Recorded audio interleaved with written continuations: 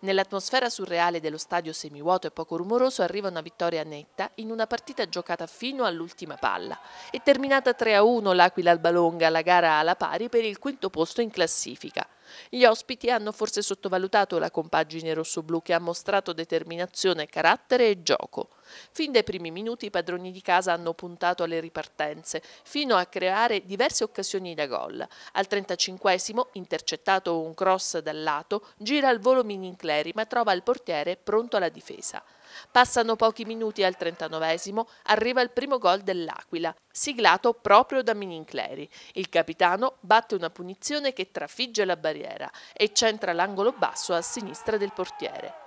L'Albalonga tenta di contenere gli aquilani che accelerano il passo, ma al rientro dagli spogliatoi passano solo tre minuti e arriva il secondo gol. Questa volta è di Pupeschi. Su un calcio d'angolo di Valenti che supera tutta l'area, trova un varco il 2 rossoblù e trafigge la rete di destro.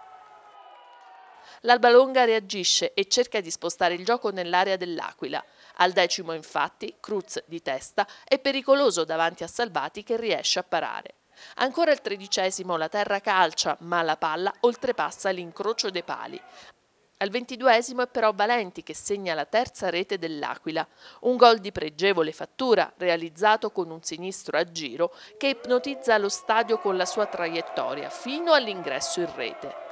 Il terzo gol passa la sveglia all'Albalonga che si fa più pericolosa nell'area rossoblù fino a trovare il gol della bandiera. La terra calcia da fuori aria, perfora la difesa ma prende la traversa.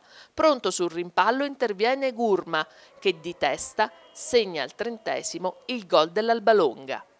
L'ultima occasione da gol per i L'ultima occasione da gol per gli ospiti arriva al 43esimo con Magliocchetti servito da Albanese, ma Salvati salva la porta.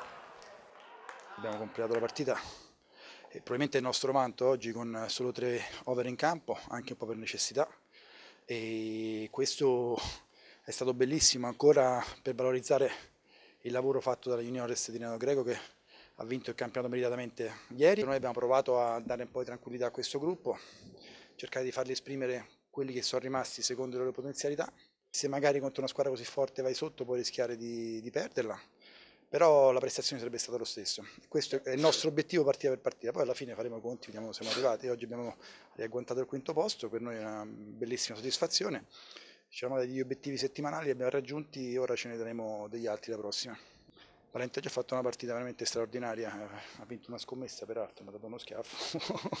sì, sì, sì, sì, era una scommessa, lo, lo vedevo un po' teso, un po' nervoso, lo volevo pungolare così.